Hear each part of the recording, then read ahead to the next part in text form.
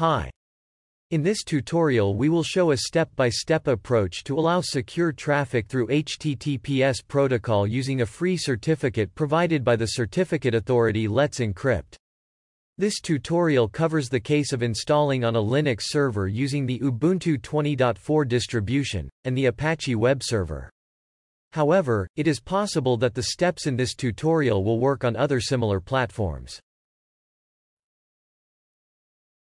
But first we would like to ask you to leave your like to encourage us to produce more videos like this. And, if it is possible, subscribe to the channel.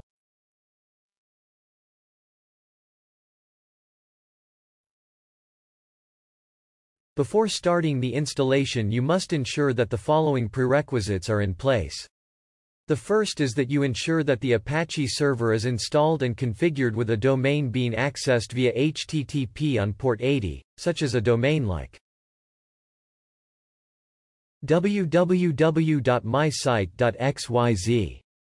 Also, if you have UFW firewall enabled, it must be set to allow HTTPS traffic.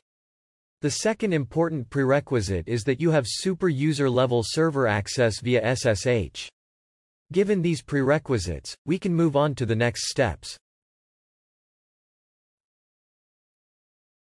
As a first step, you need to install Certbot.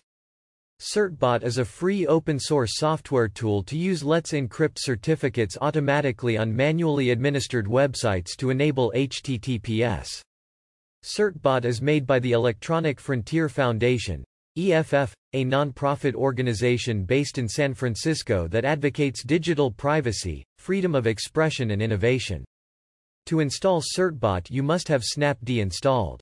If Snapd is not installed, run the following commands as a super user. sudo apt update. And then sudo apt install snapd. Before installing Certbot remove previously installed packages using the command sudo apt get remove certbot. Then install certbot using the command sudo certbot dash dash apache python 3 dash certbot dash apache.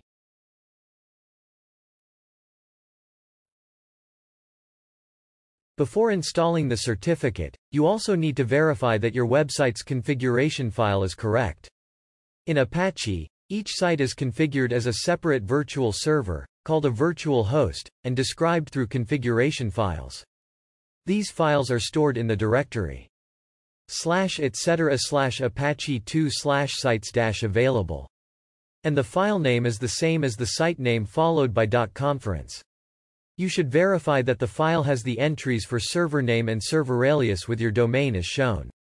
If not, you must edit and enter the entries.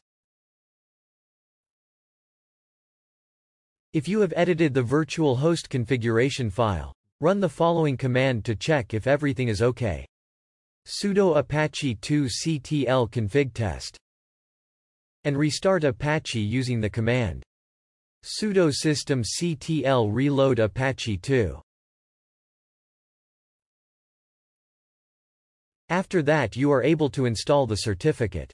Do this through the command sudo certbot-apache. A question will appear for which domains the certificate should be installed. Type Enter to install for everyone. Or run the previous command indicating on the command line the domains for which the certificate should be installed, as shown. Other questions will arise such as whether you want to direct all traffic, including HTTP, to the secure connection.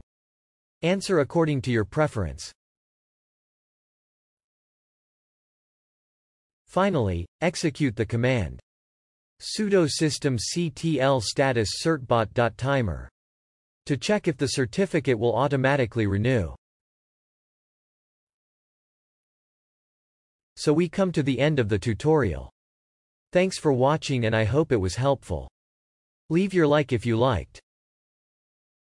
Subscribe if you want to watch more videos like this.